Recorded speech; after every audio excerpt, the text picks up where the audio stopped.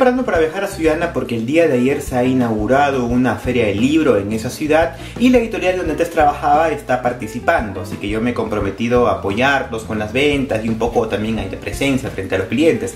Así que ahorita me encuentro preparando la maleta que voy a llevar, bueno que en realidad me voy a quedar una sola noche, ¿no? En un pequeño morral con algunas cositas básicas, eh, porque resulta que me voy a quedar en la casa de Ángel. Y Ángel suele ser un buen anfitrión en realidad, pero tiene una peculiaridad. Dije que en su casa no se encuentra buen café. De hecho, ni siquiera se encuentra café. Tiene muchas cosas extrañas. Tiene hierbas, tiene eco, tiene cebada, tiene muchas cosas extrañas, pero no tiene café. Así que tengo que llevar estos tres elementos, que es mi cafetera italiana, el molino de café y bueno, el café en granos que lo tengo aquí en casa. Lo que ocurre es que si se pasa la mañana y yo no tomo café, pues me levanto de muy mal humor y estoy sin ganas de hacer nada y la verdad soy otro José, así que mejor prevenir que lamentar.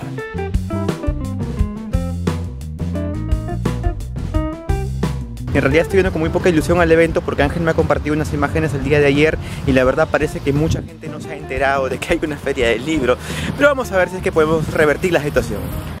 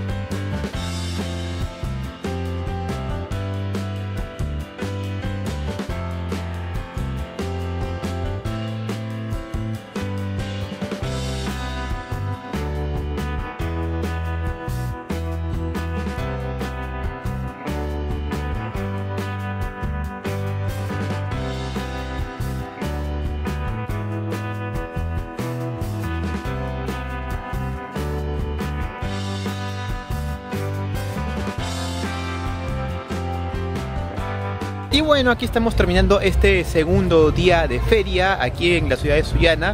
Estamos un poco al costado de la Plaza de Armas y ahí es la invitación para todos los interesados que quieran venir a, ver mi libro aquí en este pintoresco stand de esta feria, ¿no? Casi una feria, eh, una feria un poquito escueta, un poquito... Eh, de repente discreta, ¿no? Para los cánones de algunos eh, amantes de este tipo de eventos, pero de todas formas se siente un poquito de, calidez, eh, cierto interés por los libros que estamos presentando y también pues otra cosa que recién está comenzando, pues porque también faltan algunos días más que se viene todo un fin de semana y además unos feriados anexos.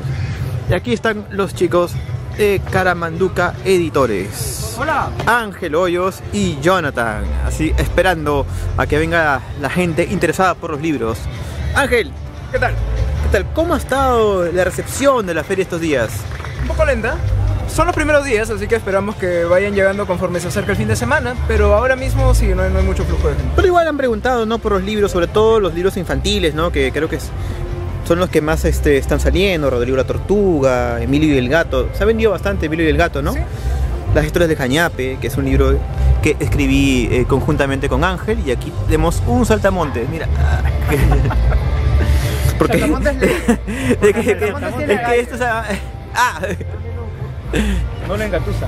Y aquí está Jonathan. Hola. Alias Profesor Bonsai, que va a tener su presentación este sábado. Así es, el sábado estamos, eh, tengo una presentación con Profesor Bonsai que es eh, origami para los niños, ¿no? Todos los niños y niñas espero que vengan el día sábado para, para aprender qué, un poco. ¿Qué es lo que van a hacer? ¿Qué figuritas van a, crear los niños? Vamos a hacer el pececito, la ranita, el Saiyajin y el robot del futuro. Y el robot del futuro.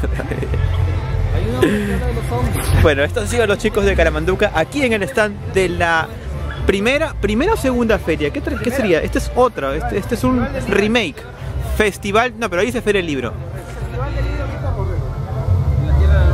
Bueno, ahí dice Feria del Libro, pero oficialmente es Festival del Libro. Víctor Borrero Vargas, que ha sido un gran escritor de aquí de Sullana y pues que también ha generado mucha expectativa y mucho cariño por parte de la gente que